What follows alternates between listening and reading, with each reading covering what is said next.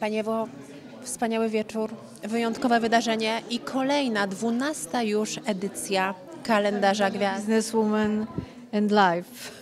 No właśnie, jakie to uczucie?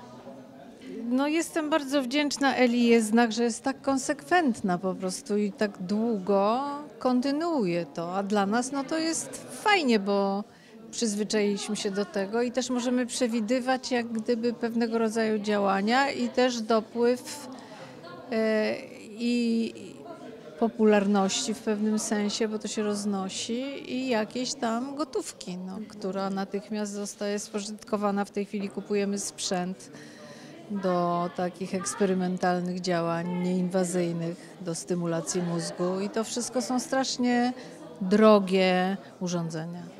Ilu osobom klinika Budzik już pomogła?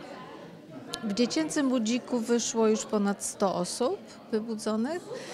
E, Z Olsztynem, z którym współpracujemy, bo to nie jest nasza placówka, e, więc tylko współpraca, ale tam jest około 40 osób dorosłych. No i teraz już w budziku na Brudniek, czyli tym naszym, y, już też e, trzy osoby opuściły. Także no, no to jest fantastycznie, że to się dzieje. Natomiast to, co jest do przodu, to, to są programy eksperymentalne i nauka świata.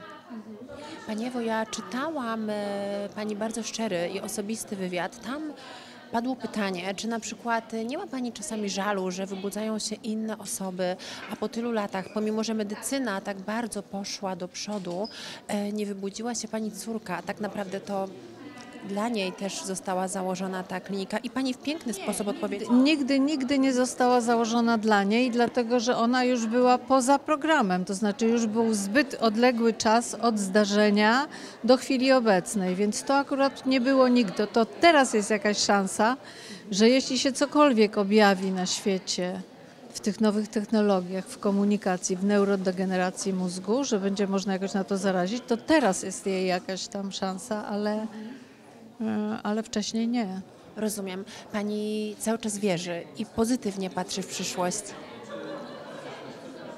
Znaczy, gdybym w ogóle nie liczyła na to, że medycyna się rozwija, myślę, że to jest walka z czasem, że to nastąpi, niewątpliwie. W to wierzę. Kiedy to się stanie, tego nie wiem.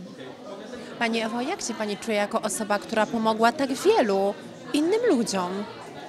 Nie skupiam się na tym, tak, tak jakby jak się czuję. Normalnie się czuję. No po prostu robię mm, coś takiego, co mnie motywuje ciągle na nowo, żeby, bo, bo to jest przed nami. No, cały ten świat badań naukowo-badawczych, komunikacji z mózgiem, czy naszej wiedzy o mózgu w ogóle.